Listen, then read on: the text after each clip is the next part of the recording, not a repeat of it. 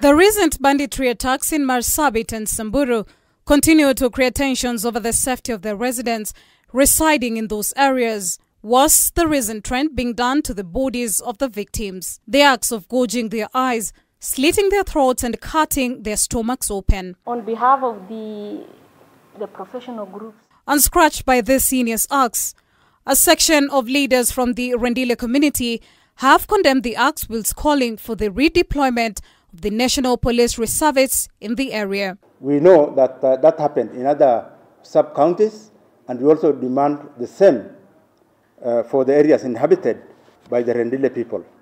Speed up the community land registration process to dispense of land expansionist tendencies of the aggressors. watu wa jirani wanakuja ku- kulisha mifugo yao pamoja na watu wetu, mwishowe wanaua watu na wanachukua wanyama. Tumeshoka kama jamii na tunaongojea serikali wakati huu watatufanyia nini. Elsewhere, property worth of millions of shillings have been destroyed in a night inferno that engulfed businesses, premises, and residential houses at White House in Diani, Kwale County. The fire broke out at 2 a.m., brought down business premises that include bar, salon, furniture shop, chemist, and retail shops.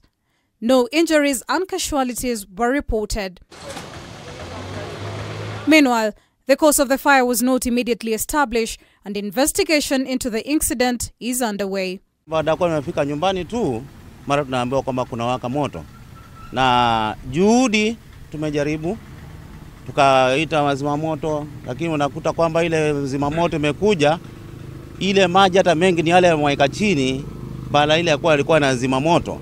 Kwa hivyo ikawa sasa ni juhudi zetu zinaambulia hapa tupu. Wakati mwingine disaster kama inapotokea uh, serikali iweze kufika haraka, kwa sababu ukiangalia loss ambayo tumepata ni kubwa sana ya, na tungeomba serikali ya kaunti kama ingeweza kutusaidia ili tuweze kurudi tena kwa miguu yetu.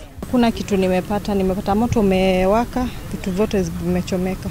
And finally, Mwingi Central MP Gideon Mulyungi has called on the Independent Police Oversight Authority to quickly hasten investigation findings and charge a police officer who broke into a home in Kwanungu area, Migwani Ward, and shot dead a 26-year-old for allegedly stealing 10,000 Kenya shillings. It's alleged that the late Alex Musili was asleep when two police officers started yelling his name, ordering him out, where they later shot him in the witness of his brother, Yohana Sami, who was handicapped. The parliamentarian says he has written to the Mwingi Central OCPD requesting an immediate transfund replacement of all the police officers serving at Mumbuni police station, hence instilling trust in the public on the performance of the police officers attached to this station. Melia Kisienya, K24 TV.